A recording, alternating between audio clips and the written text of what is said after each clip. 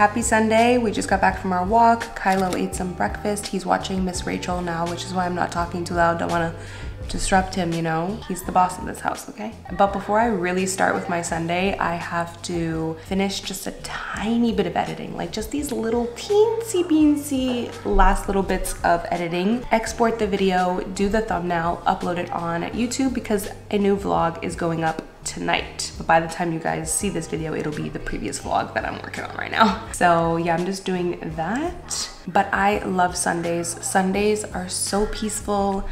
And it's crazy because before I had Kylo, like my Sundays were super lazy Sundays, but now they're like productive and lazy Sundays.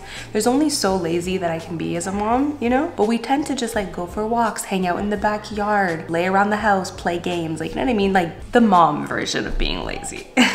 but it's also productive because I gotta get ready for a productive week coming up. So that means setting myself up for success for the week, which means like meal prepping, cleaning around the house, getting all those things done so that throughout the week I can just focus on work and Kylo. So, hi my sugar baby. So yeah, Sundays are one of my favorite days, but also Saturdays. Yesterday, I had the best Saturday. We just decided to go to the lake. Usually we take our morning walk around the neighborhood, but we're like, you know what, let's go to the lake. And it was so freaking peaceful and nice. The weather was perfect. It was perfect weather. And after such a busy week, I told you guys in my last vlog that I was feeling like mom guilt from just being really busy and being away from Kylo more than I'm used to. After having a busy week, man, it just feels like the week just came full circle because I was able to spend so much one-on-one -on -one time with Kylo. Like I was just face to face with him. He was running around the grass, just having a blast. And I feel like I just got a lot of like one-on-one -on -one time with him, you know? But today I'm actually gonna be sharing with you guys I have a lot of bananas in the pantry and a few of them are getting super ripe. So I'm gonna meal prep Kylo's three ingredient pancakes. These pancakes are so easy to make. I have been making them since he was six months old and let me tell you, he has been devouring them. Like I said, there's only three ingredients. They are incredibly easy to make and they're super healthy. They are the perfect baby led weaning recipe to start off with. Like if your baby is around six months, cut them into strips and let them go to town. So I'll show you guys that later on in the vlog, but yeah. Come, come out, mama. Come, out, mama. Thank you. Yes, this is Dada's bottle.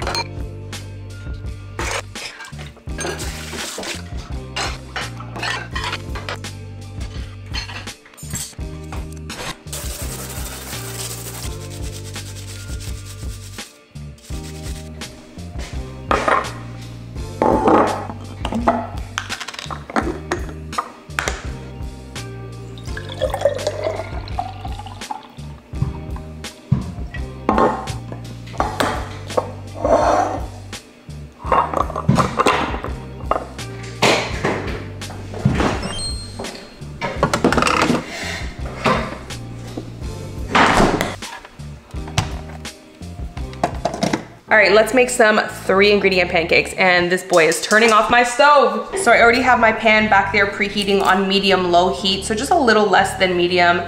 For these pancakes, like I said, three ingredients. The first one is banana. Next up is eggs. So the way this recipe works is for every banana, you put one egg. So since I have two bananas, I need two eggs.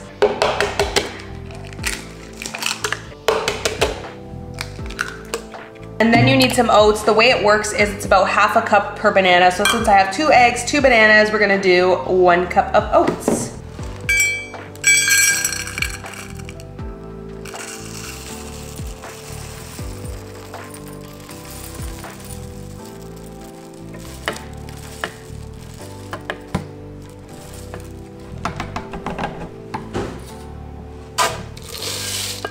And that's literally it, so easy. Now, I like to spice it up a little bit. So I like to add a little cinnamon in Kylo's because he really loves cinnamon. It adds a nice little flavor. But yeah, it's totally optional. And honestly, what's great about these pancakes is you can kind of like build on them from there. Like those three ingredients are the base and it's good on its own just like that. I used to make them just like that all the time.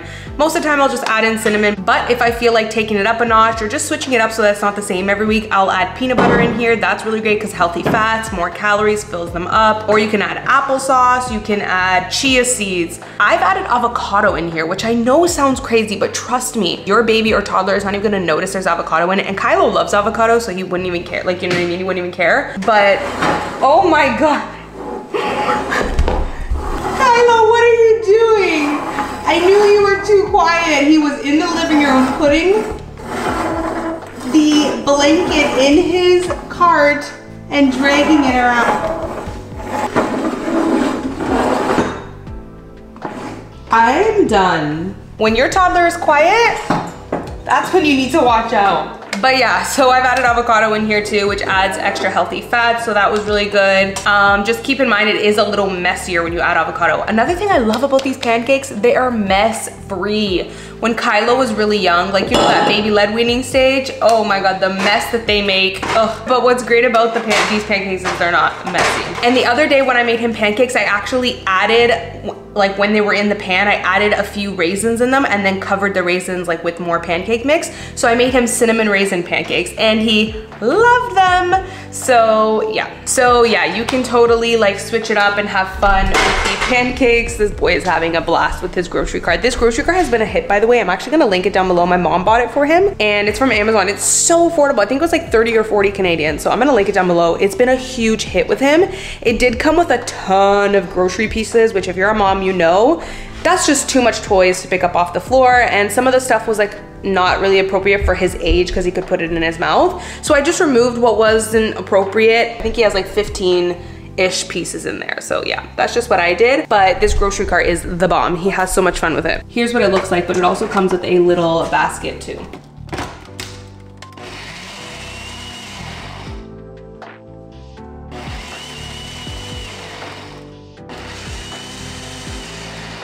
I get a lot of questions about stainless steel pans. I actually did a little mini tutorial in my first, my very first vlog for you guys on how to make your stainless steel pan non-stick.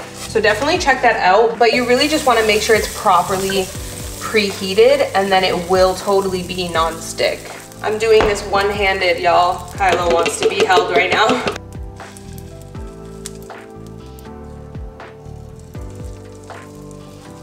And that's kind of the consistency you want for your pancake mix, but if it comes out too thick, then just add a little splash of milk. And if it comes out too thin, you can add a little bit more oats, but usually if you follow the ratio I told you guys, it'll come out the right consistency. So when it comes to these pancakes, I've had a few of you actually asking me for a tutorial. When it comes to these pancakes, making them in the pan, the key is only put the mix in when the pan is properly preheated. So let it stay on medium low for at least like five minutes. And then you only wanna flip the pancake when you start to see the sides like getting firm and when there's like little bubbles in the center of the pancake. So I'll show you guys what that means, but that usually is about three to four minutes. Yes, Boo Boo. I literally just called him Boo Boo. I always call him Boo Boo. And then he just said boo boo. You're talking a lot lately. What about you are mama's boo boo? Yes! Oh my goodness, just adore you. So you can already kind of start seeing little air bubbles kind of popping. Sometimes I'll take a peek underneath the pancakes because I want to make sure that the bottom is not getting too brown before bubbles pop in the center, you know? Because if that's the case, if your bottoms are getting too browned before there's even any bubble, bubbles popping up, that means the heat is too high. You can lower it a little bit because that means it's crisping the outside before it's even cooking the inside. But this should be good and ready to flip. I mean, I could wait until there's like more air bubbles, but I do see a few popping through, so that's fine. So I'm gonna turn my heat down a tiny bit because you can see it's like pretty brown. Honestly, pancakes do better on like lower heat. So my mom got him those little raisin boxes and he just carries them around the house and just eats his little raisins. Like I have a full ass toddler now. It blows my marbles. Kylo, what is this? Baby. Belly!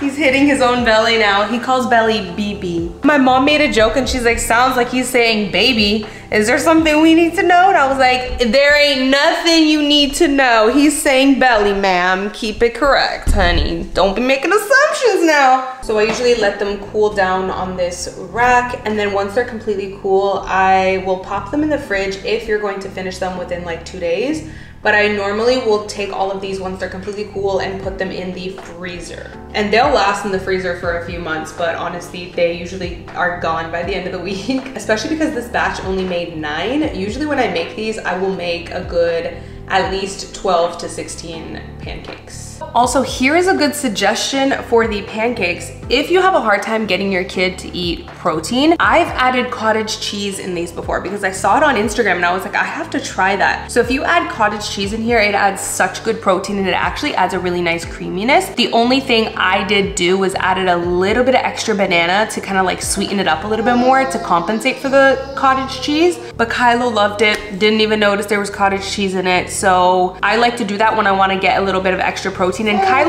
loves his like chicken and beef, so he doesn't really have a problem with getting protein. But yeah, if you wanna like sneak in a little extra protein in your baby or toddler or kid's diet, add some cottage cheese in there, they're not even gonna notice. I've been leaving his little bottle down there so that he can access it freely and he doesn't have to ask for water all the time. And I think now that he's a little older, I want to clear up this bottom drawer and make this like Kylo's drawer where he can go in and access his plates, his spoons, his water bottle because I know that doing that is very Montessori style. It's kind of like the idea of giving them some independence and letting them kind of do things for themselves. So when it's time to eat, I'll say to him like, go get your plate, go get your bowl. And when he wants his water, he can go get his water, get it himself type of thing to teach him that independence and responsibility. Honestly, toddlers love it. Like they love like doing things for themselves. Like it just gives them a sense of purpose. It makes them feel involved. It also, I feel like, makes them feel like you respect them. You know what I mean? Like that's their space and like like they can get their stuff. It's just, I feel like it's a really good way to like bring them up from when they're really young. Like he's only 16 months, but I think now's the time where he's old enough where I'm gonna start making that drawer his drawer. He hasn't been able to open the fridge yet, but honestly, the second he starts opening the fridge, I'm gonna make, which I'll show you guys, I'm gonna make this bottom section right here the part that he can access, I'm gonna make that his section with like his sort of snacks. So if he wants something, he can go and grab it, you know? But yeah, he can't open the fridge right now, so I'm really not fussing too much about that. But yeah, I think it's gonna be a good time for me to start making this bottom drawer his drawer. I've always wanted to do that, and now I feel like he's at a good age. This drawer is already emptied because you know him, he was going through it and taking everything out anyways. And normally I have like cabinets and stuff locked, but this one I didn't even bother locking because I knew that I was planning on doing that for him. So this cabinet up here has been his cabinet since he was a baby. So I am looking forward now to taking all of his things and all of his plates and stuff. Maybe not all of it because I already know him. He's just gonna take everything and throw it all over the place and make a mess. I don't think it's necessary to put everything. I think the goal is just to put a couple plates, some bowls and some spoons so that when it's time to eat, he can go and kind of help himself. So I'm excited to do that.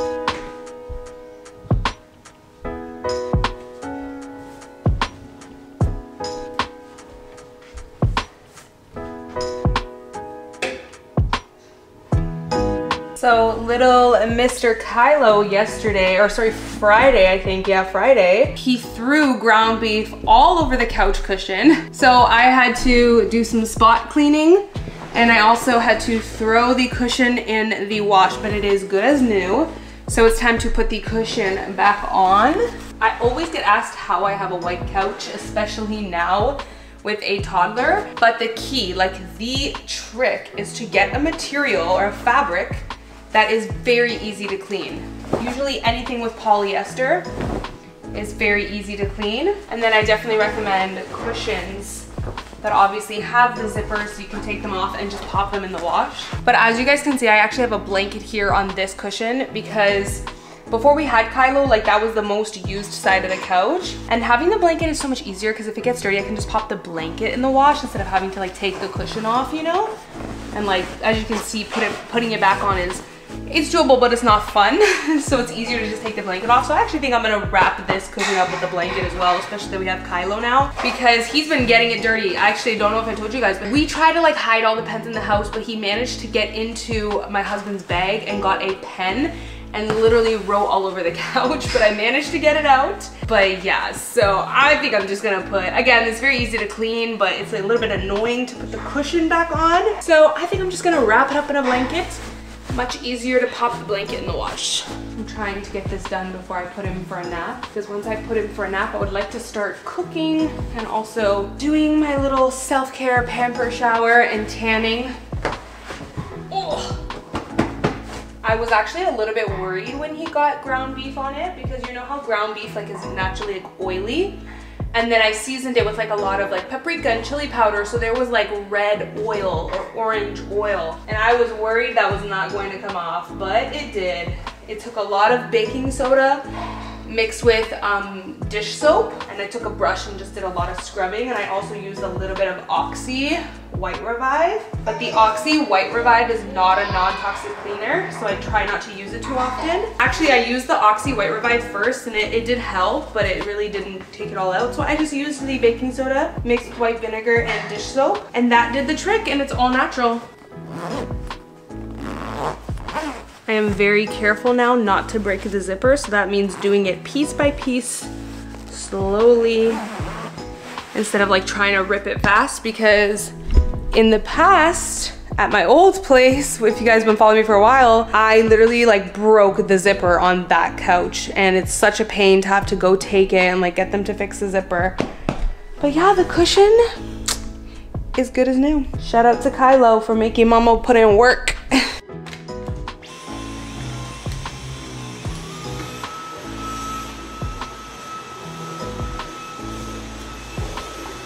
Time to put this little bugger down for his nap.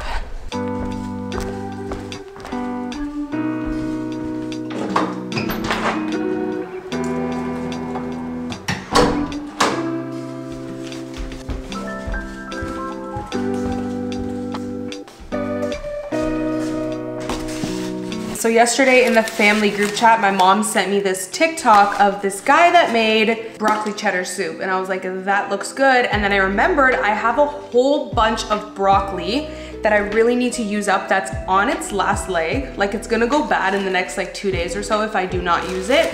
So it's actually perfect timing. I was just missing some cream, which I tried to get the um, one from Organic Meadow. I love that brand, but they were sold out. So she just replaced it with regular one. And then I needed some chicken stock and some whole carrots. But other than that, I had all the other ingredients. Like broccoli cheddar soup is one of those soups where you almost have like every single ingredient except for broccoli on hand, which was actually surprisingly the one thing I did have on hand. but yeah, anyways, then I also picked up some chicken because I don't know, we are a chicken and rice family. Like you guys know Sundays are my meal prep days and um, sometimes I get fancy and I'll do like pasta or I'll do just like different things, but a lot of the times we're just like a chicken and rice family and then we'll have different things throughout the week with it like I mentioned to you guys before you know tacos burritos salads whatever. So so I am gonna meal prep a bunch of chicken because Kylo and my husband love chicken breast which I should have got two packs I can't believe I only got one. Like this is literally only gonna last for like not even two days. I love chicken thighs so I'm gonna be making chicken breast and chicken thigh and then I'm also going to be making my veggie rice since all of us love that so that'll just be good just to have meals on hand for the next three days or so. And then plus the broccoli cheddar soup. So we're gonna be good for the next three to four days. We're gonna have meals and I'm not gonna have to be in the kitchen cooking.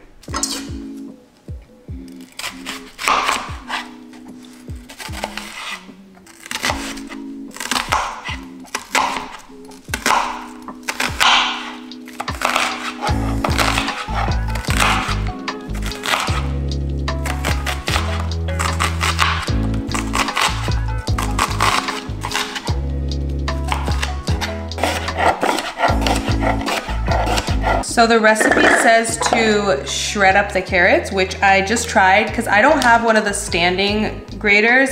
I just tried, y'all. It's gonna take too long. So I'm just putting it in my chopper and doing chopped instead of shredded.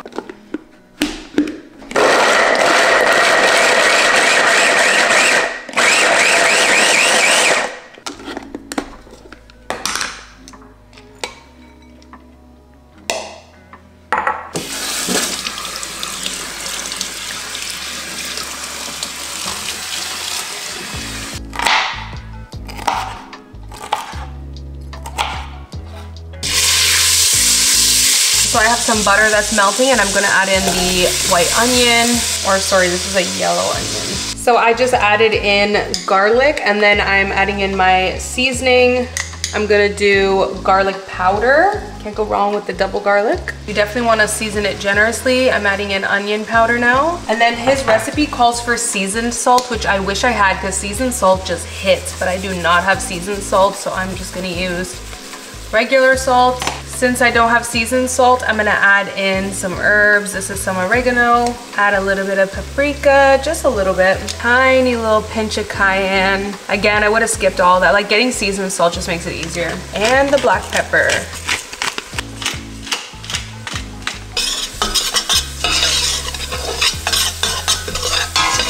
You wanna let all that seasoning just saute and cook and sit in there for a few minutes. Next, I'm adding in four tablespoons, roughly four tablespoons of flour. Stir that until it dissolves. I'm gonna do two cups of chicken stock, which is about half of this container. So I'm definitely just like eyeballing it. I just lowered the heat a little bit and now I'm going to cover it and let it sit there for five minutes or just until like it thickens up a little bit. You can see how nicely it has thickened up. Now I'm gonna add two cups of cream, which is this entire container. You're supposed to add cream, but I'm doing half and half just to make it a little lower calorie. So you need two cups, which is pretty much this entire container.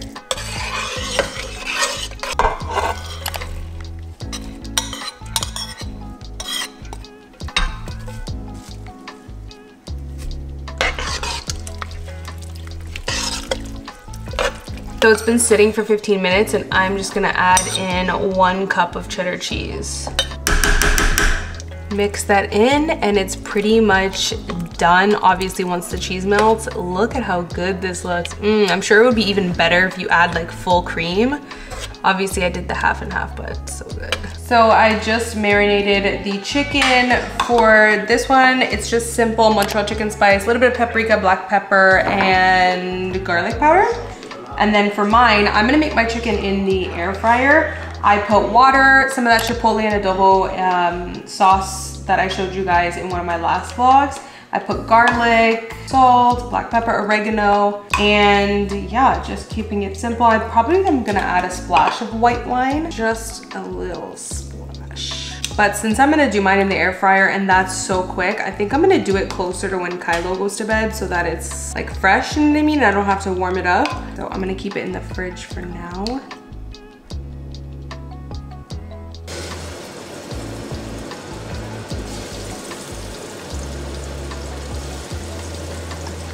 So the rice is done. I don't know why, but for some reason, I just really felt like plain rice, but I never like to make my rice like fully, fully plain, unless I'm doing like some, like unless I specifically want to plain my rice. But anyways, so I used parboiled rice and the liquid I used is the rest of that chicken stock. So that really is gonna add that flavor. But other than that, I didn't do much to it because like I said, I just kind of feel like some plain rice. Let me put this underneath because this is hot, honey. It looks really good though.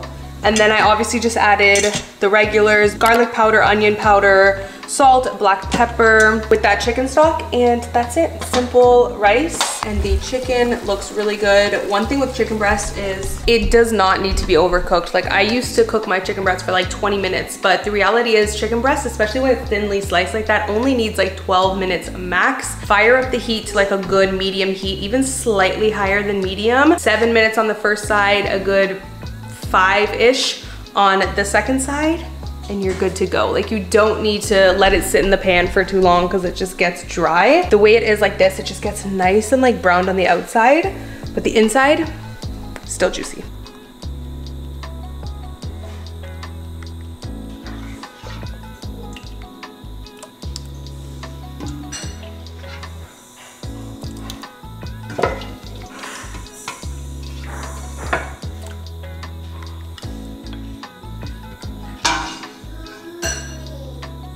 Kylo is going to his grandma's house tomorrow on Monday, so I'm making sure to pack a little container for him so I can pack it and he can bring it there because I am like 99.9% .9 sure he's gonna love this soup because it has his favorite things. cheese, and milk.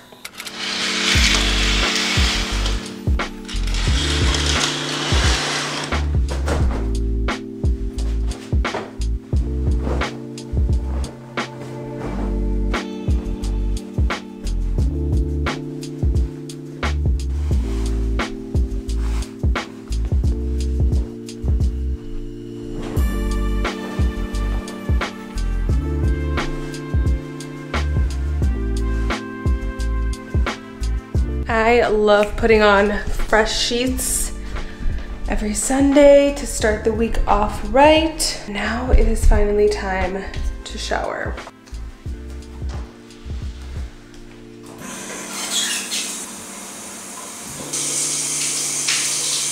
That shower just felt so good and I'm actually filming my hair care routine tomorrow for my main channel so that's why I didn't wash my hair. But I really need to tan. Like I haven't needed to tan much just because I've been going on so many walks and just getting a natural tan from the sun. You can kind of still see some of my tan line, but it's it's definitely faded. I used to be a lot darker. I feel like I'm getting super pale again, so I'm definitely craving a nice tan.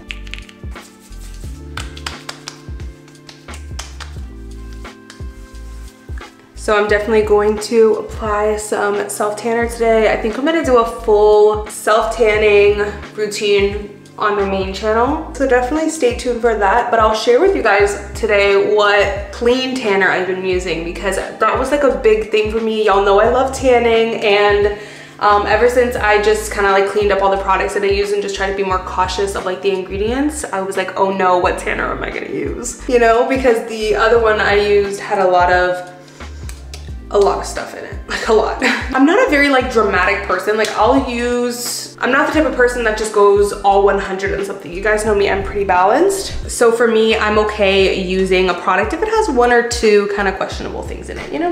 As long as it's not like parabens or talc or something. But the tanner I was using just had way too much stuff in it. So me and my sister were on the hunt, honey. This one from Amazon, this one from Sephora, which I actually love them all, but this one is my top favorite. So it's completely clean. So this is the Salty Face Tanning Foam. This is not sponsored, by the way. Like I said, if it was sponsored, I wouldn't even be able to like share these other two competitive options, which like I said, I do like these, but I found that this one, I'll go into a full detailed review when I do the cleaning, um, tanning routine to be honest, but I found that you needed a lot more product with these to get as dark. I love, love, love how smooth this goes on. And I actually like that it's clear because before I had Kylo, I was using self tanner that had like dye in it and it would transfer. But I was okay with that because I could just like sit on the couch and not do anything for a few hours and that was like my lazy Sunday. But now I obviously have to be up and about and I don't want to like transfer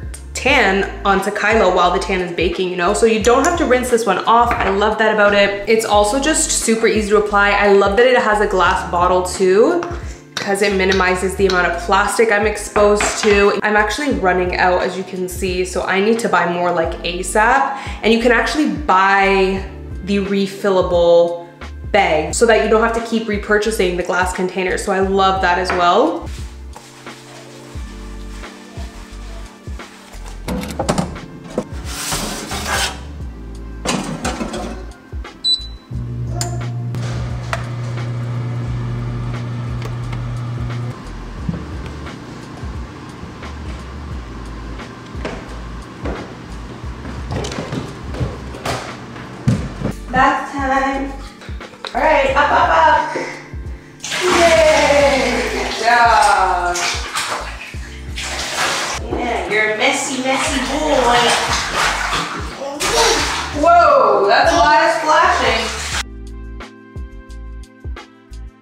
We're putting on your hair cream.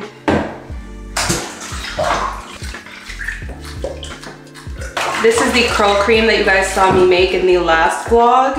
If you haven't seen it, definitely check it out. It was so easy to make and it's completely all natural, non-toxic.